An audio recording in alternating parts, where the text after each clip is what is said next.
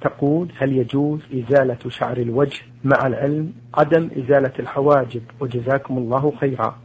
أما الرجل فلا يحل له حلق لحيته ولكن يسن له قص شوارب. وأما المرأة فإن نبت في موضع اللحية والشارب شعر يبين إذا رآه الإنسان فلها أن تزيله بأي مزيل كان. وإن كان شعرا معروفا يعني شعرة أو شعرتين ليس فيه ليس فيها تشويه فإنها تبقيه ولا يحل لها أن تنتفه. ولا فرق في هذا بين الحواجب وغيرها لقول النبي لأن النبي صلى الله عليه وسلم لعن النامصة والمتنمصة. نعم.